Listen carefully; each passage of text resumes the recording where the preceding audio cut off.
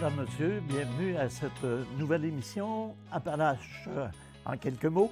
Une émission où nous livrerons la majorité des informations relatives aux événements s'étant déroulés dans la MRC des Appalaches. Alors, euh, une nouvelle tout à fait récente, le cégep de Thetford Mines et l'espace entrepreneurial de la région de Thetford viennent de conclure euh, une entente de partenariat faisant en sorte qu'une partie de la formation du programme de plasturgie du cégep sera délocalisée dans un espace situé au E2RT.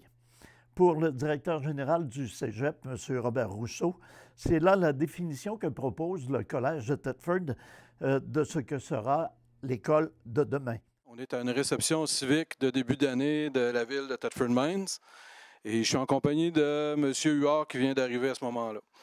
Et euh, on discute de notre sujet préféré, d'innovation. Donc, euh, à un moment donné, je parlais à Mario de, ce qu'on avait comme projet en matière d'innovation au cégep de Thetford. Évidemment, vous comprendrez qu'on ne veut pas développer des nouveaux produits et les mettre sur le marché. Ce n'est pas tout à fait notre objectif. C'est de l'innovation en domaine de formation qu'on fait. Et euh, les questions existentielles qu'on se pose dans ce temps-là, c'est comment on fait les choses, pourquoi, euh, quelle langue on donne un dossier, etc. Et c'est là que Mario me dit, bien, Robert, pourquoi vous ne vous servez pas de nous, vous ne vous servez pas de E2RT pour votre innovation? C'est un peu le point de départ. Évidemment, euh, ça, fait germer les idées. Et deux événements par la suite sont arrivés qui ont fait en sorte qu'on se retrouve aujourd'hui à parler de, ce projet-là. Le volet design et conception de la formation offerte en plasturgie a donc été relocalisé dans les espaces du E2RT où les étudiants auront la chance de travailler sur des projets appliqués au marché du travail. Ils y côtoieront des entrepreneurs présents et en devenir. Le président de E2RT, M. Frédéric Paré, a précisé que cette entente était le fruit de deux ans d'échanges et que ce partenariat pourrait bien avoir une portée internationale. Le cégep de Thetford serait le premier au Québec à délocaliser une partie de sa formation et il ne s'agira là que d'un premier pas, alors que des programmes comme l'informatique, la comptabilité et la gestion de commerce bénéficient également de la collaboration entre le cégep et E2RT. Enseignant au cégep de Thetford et chercheur au CTMP, M. Andrew Vachon a expliqué que les étudiants travailleront avec de l'équipement à la fine pointe de la technologie, tels des souris 3D et une imprimante 3D. Ils utiliseront des logiciels hautement performants. De vrais contacts avec de véritables entreprises œuvrant dans le secteur de la plasturgie leur permettront d'établir des contacts et peut-être même de pallier le manque de main-d'œuvre que vivent ces entreprises dans ce secteur. Pourquoi l'AMT? C'est quoi les objectifs qu'on vise? Bien, principalement, on a trois objectifs qu'on vise avec l'AMT. Premièrement, on visait une approche gagnant-gagnant. Pour être sûr que les entreprises participent, que ce soit facile d'aller les chercher, il faut que ce soit gagnant pour eux autres. Puis, bien entendu, il faut que ce soit gagnant aussi pour les étudiants, puis pour le cégep de Thetford. L'autre objectif qu'on essaie de faire, c'est de recréer un environnement de travail qui est le plus similaire, le plus euh, exact possible avec la vraie vie. Donc, on prend des étudiants de troisième année, on les met dans un contexte qui est pratiquement ce qu'il y aurait dans un milieu industriel. La seule différence, pratiquement, c'est la présence du professeur, qui ne serait pas là en temps normal. Et finalement, le troisième objectif qu'on visait, ben, c'est de créer des liens très étroits entre les étudiants et les entreprises. On s'est aperçu dans le passé que ça manque souvent. Les étudiants terminent leurs études, ils ne savent pas trop les entreprises, ils n'ont pas de contact, ils, ils, ont de la misère des fois à se présenter un peu en entreprise. Donc là, ils vont avoir la chance pendant plusieurs mois de travailler avec des entreprises, de côtoyer des chargés de projet, des équipes de direction, de voir un petit peu plus comment ça fonctionne. Donc, on croit qu'après ça, l'intégration au marché du travail va être beaucoup plus facile.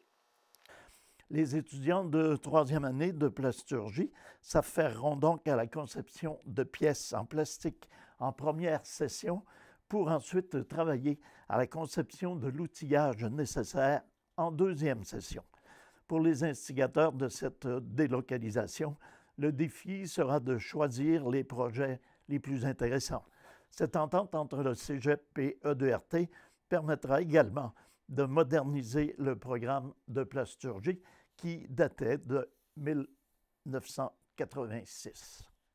Le centre d'affaires et de congrès de Thetford deviendra maintenant une réalité après plus de 20 ans de travail, de démarches et, il faut le dire, de tergiversation.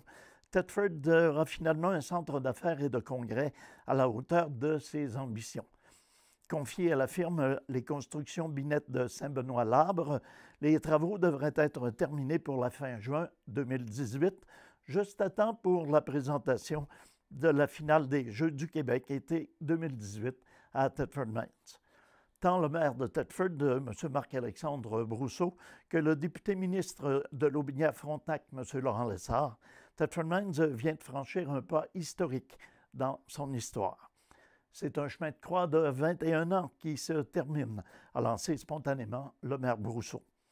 La ministre Marie-Claude Bibeau et députée de Compton-Stanstead à Ottawa a annoncé que le gouvernement du Canada avait accepté d'investir 5,25 millions dans le projet que le ministre Laurent Lessard annonçait que la contribution du gouvernement du Québec serait de 2,8 millions de dollars. Pour sa part, la ville de Thetford Mines ira d'un investissement de 800 000 dollars pour un investissement global de près de 9 millions. Le gouvernement du Canada s'est engagé à investir dans la création d'emplois pour faire croître notre économie et développer l'ensemble de nos communautés. Nous sommes conscients que les collectivités doivent se diversifier de manière stratégique en misant sur l'innovation pour développer des avantages comparatifs pour les régions et des avantages durables aussi. En ce sens, l'appui à la transition et à la diversification des collectivités est une priorité du gouvernement du Canada. Le nouvel édifice érigé à l'extrémité est de la cache du domaine totalisera 31 000 pieds carrés sur deux niveaux. Il comptera plusieurs salles de réception pouvant accueillir pas moins de 600 personnes. La gestion du centre d'affaires et de congrès de Tetford Mines a été confiée à la chaîne d'hôtels C en vertu d'une entente de 40 ans. Nous serons maintenant en mesure de devenir une destination, affirmait-on, au sein des intervenants touristiques. Avec une superficie de 32 000 pieds carrés et une capacité d'accueil variant entre 10 000 ou plutôt entre 10 et 600 personnes, les salles du centre d'affaires et de congrès sont spécialement configurées pour les congrès, les expositions, les banquets, les assemblées, les conférences, les spectacles, les réceptions de mariage, anniversaires, balles de finissant, soirées dansantes, parties privées, parties de bureau et réceptions du temps des fêtes. Pour le directeur général de la Société de développement économique de la région de Thetford et Tourisme Région Thetford, M. Luc Rémillard, il sera possible de répondre dans un premier temps aux demandes locales et régionales, mais également aux besoins des congrès provinciaux d'envergure, voire canadiens. Par ailleurs, le Centre d'affaires et de congrès s'inscrit dans la vision globale de développement de la région, tant par l'infrastructure locale de développement elle-même que pour son apport à la stratégie de développement touristique de poursuivre M. Rémillard.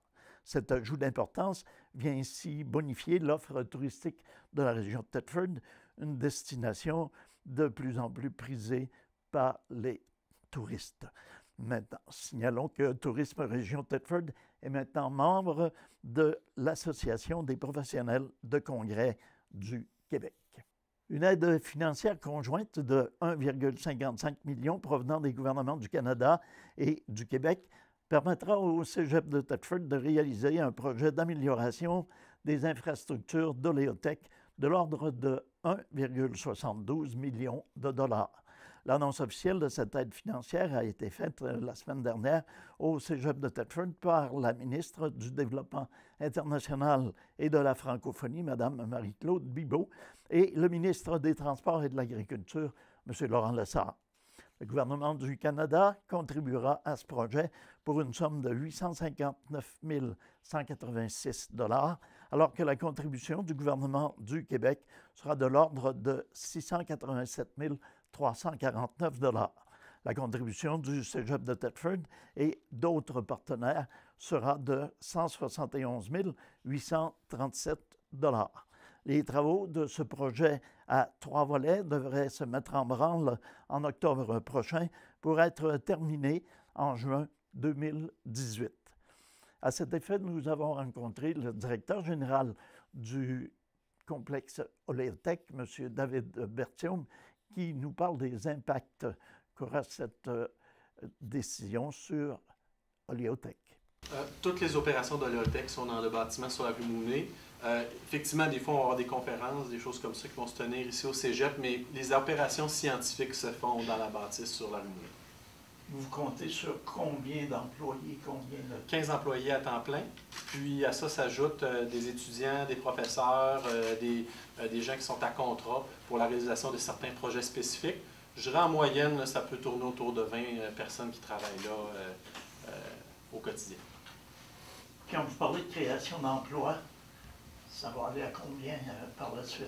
Bon, ça, c'est une bonne question. Là, sincèrement, je vous dirais que c'est les projets qu'on a toujours en cours de route. Je viens tout juste d'embaucher euh, un nouveau chercheur dans le domaine de l'ingénierie qui va effectivement travailler avec euh, la nouvelle usine de pilotage de procédés. Donc, on peut dire qu'il y a déjà des impacts concrets de ça. Combien à terme, là, je ne pourrais pas vous dire, mais peut-être 3-4 emplois de chercheurs de haut niveau.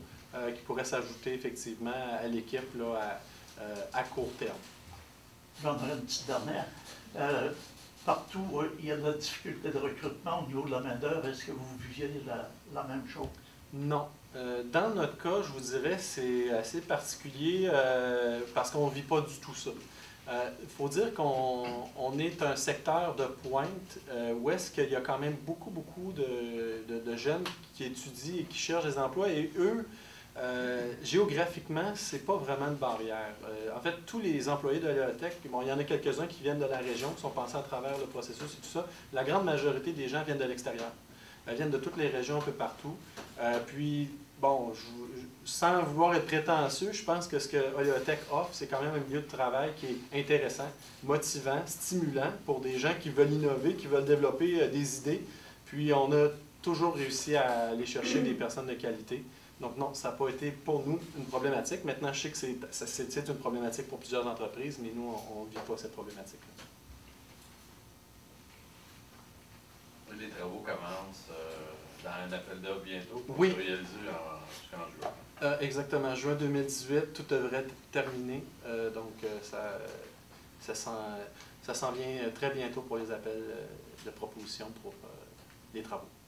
La première étape euh, consistera en l'installation d'un mur solaire passif qui contribuera à accroître l'efficacité énergétique du bâtiment abritant les installations de recherche d'Oléotech. Auparavant, le siège social de la société Asbestos Limitée logeait dans cet immeuble datant de 1955. Le revêtement entraînera des économies de l'ordre de 25 000 annuellement et M. Bertium a précisé que ces sommes pourraient être réinvesties dans les opérations de recherche. Le gouvernement fédéral a consenti une aide financière de 571 500 dollars sous forme de contribution non remboursable à la ville de Thetford, alors que cette dernière pourra se doter d'une nouvelle euh, identité visuelle et mettre en œuvre une campagne de promotion relative à son image. Cette aide financière est consentie en vertu de l'initiative canadienne de diversification économique des collectivités tributaires du chrysotile de DEC, désigné plus couramment par le Fonds de diversification de 50 millions. Cette refonte de son identité visuelle permettra à la ville de Thetford de stimuler ses investissements, promouvoir le tourisme et recruter des, professionnels dans des secteurs d'activité spécialisés, notamment les technologies propres.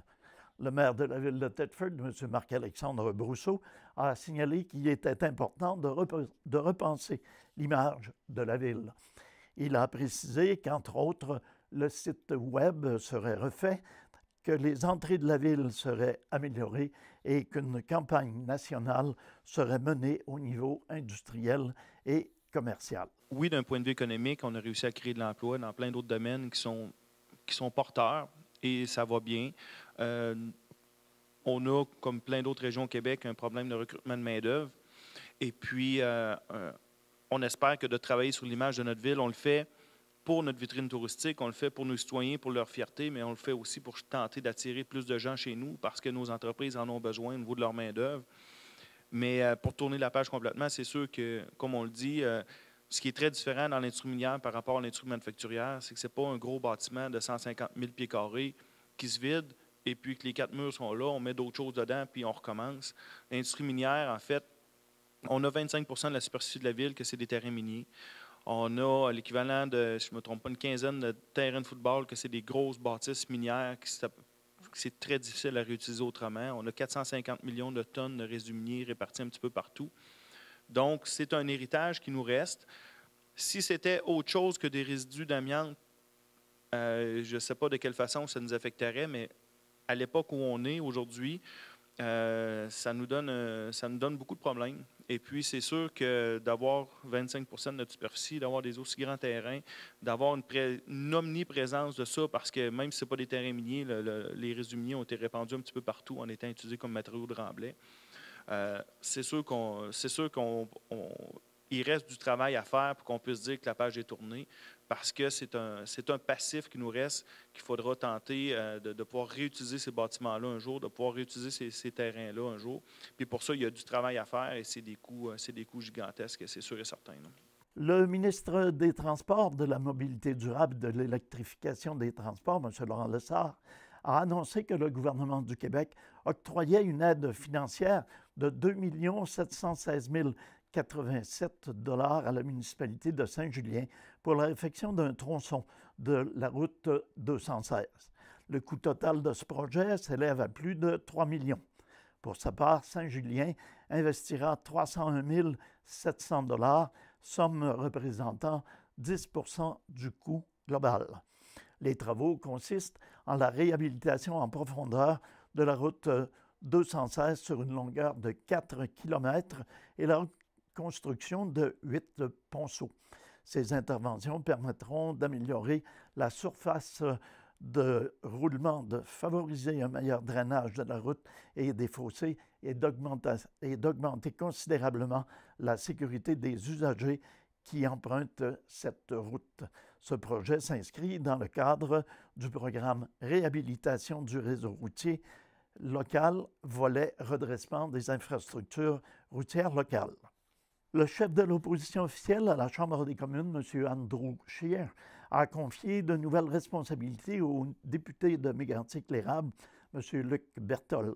Ce dernier agira comme porte-parole de l'opposition officielle en matière d'agriculture et d'agroalimentaire dans le cabinet fantôme.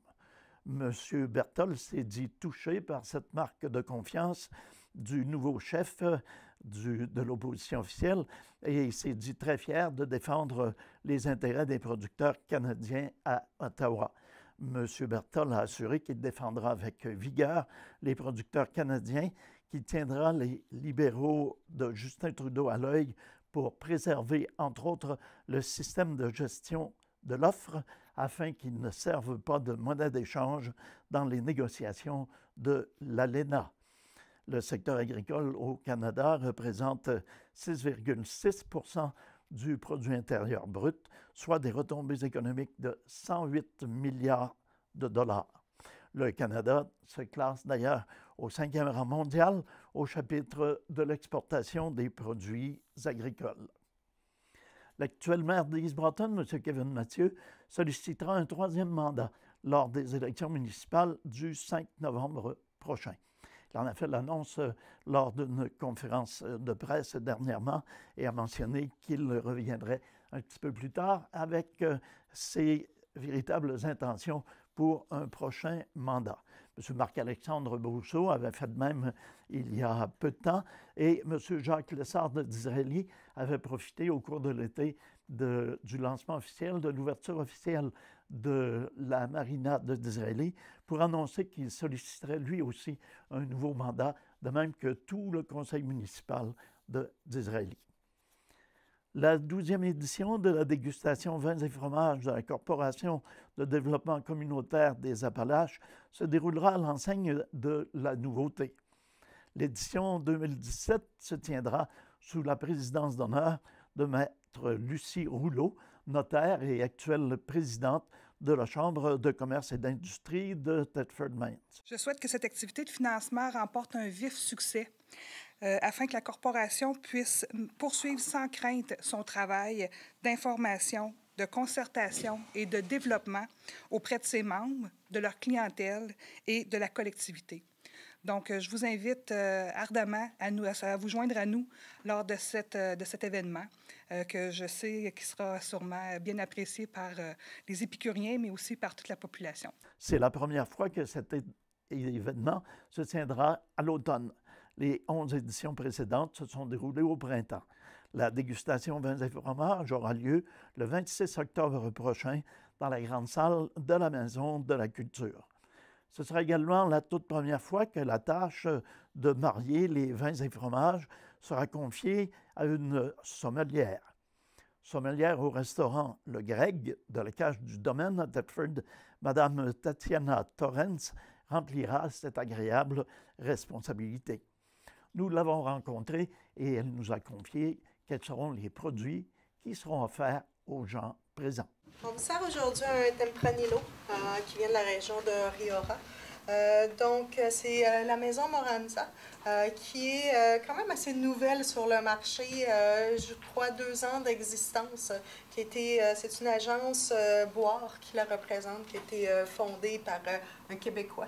Euh, Patricio euh, Brango, euh, qui a eu les cidres Criomalus, qui étaient des cidres extraordinaires au Québec, qui a décidé de retourner du côté espagnol et qui a fondé son agence qui nous envoie plein de beaux produits. Donc, un tempranillo pas trop corsé, pas trop boisé, quelque chose un petit peu suave pour accompagner des fromages. donc, voilà, j'espère que vous allez vous régaler placé sous la présidence d'honneur conjointe de Mme Linda Duval et de M. Steve Baker, la cinquième édition du demi-marathon de Tetford Mines aura lieu dimanche le 17 septembre prochain. Pour M. Baker, il s'agit d'une deuxième présidence d'honneur consécutive et nous avons eu le plaisir de le rencontrer. D'abord, merci beaucoup à Anthony Vincent et l'organisation de m'offrir la, présidence d'honneur pour la deuxième année consécutive. Très fier de ça. C'est ma ville natale, Thetford. Fier et content de venir. Euh, beaucoup de personnes me connaissent euh, comme ayant fait un record Guinness de push-up sur une main. Mon deuxième record étant 85 push-ups sur une main en une minute. Je suis dans le livre Guinness dans six années euh, différentes. et il y a une photo dans l'édition 2000, il y a une grosse photo à la page 57. Euh, maintenant, j'ai commencé à courir, ça fait trois ans et dix mois. Euh, mon objectif, c'était de faire un marathon. Euh, j'en ai fait deux la première année, quand j'ai commencé à faire les marathons il y a deux ans. quatre l'année passée. Et cette année, je vise d'en faire douze. Je suis rendu, je viens de faire mon septième au marathon SSQ Lévis-Québec. Beaucoup de marathoniens pensaient que je ne serais pas capable de faire ça parce que, en fait, ça fait pas si longtemps que je cours. Mais euh, je suis en train de leur démontrer que oui, je pouvais le faire. Et j'aurais même encore plus de facilité si je n'avais pas un petit problème à un pied. Donc, euh, j'adore ça. Je trouve ça vraiment intéressant, la course à pied. C'est vraiment une passion. Puis, euh, je suis dans les groupes comme avec MCQ, j'adore ça. J'écris souvent des récits de course, qu'est-ce que je fais, des fois avec humour. J'ai fait aussi le marathon de Boston cette année dès la première, après 20 mois de jogging, je déjà, j'avais déjà fait le temps de qualification pour faire Boston. Il y a des gens qui ça peut prendre 7 ans ou une vie à, réussir à faire le temps de qualification. Il y en a qui ne réussissent pas non plus. J'ai eu cette chance-là. Je ne pensais pas d'avoir des aptitudes comme ça à la course à pied à ce point-là. Puis, euh, finalement, ben, je vois que j'en ai. J'ai une récupération quand même assez rapide. Comme euh, dans ma première série des six marathons que j'ai fait, j'en ai fait quatre en quatre fins de semaine successives. Là, je viens d'en faire un marathon, puis dans quelques semaines, je vais en faire cinq en cinq fins de semaine successives. Donc, je pense être en mesure de le faire. On verra. Euh, et ça se peut que l'avant-dernier marathon, je le change pour un ultramarathon de 54 km aussi. ça dépend surtout de mon pied et du budget. Fait que, sur ce, euh, j'aime ça encourager les gens à l'activité physique en général, mais pour l'instant, c'est la course à pied qui me passionne. Puis, euh, je suis très, très heureux de venir faire le demi-marathon à Thetford. Alors voilà, c'est ce qui met un terme euh, à cette euh, première euh, émission Appalaches en quelques mots. Nous vous invitons à être des nôtres pour une prochaine émission du genre. Entre-temps, demeurez des nôtres. Zoom Appalaches suit dans quelques instants.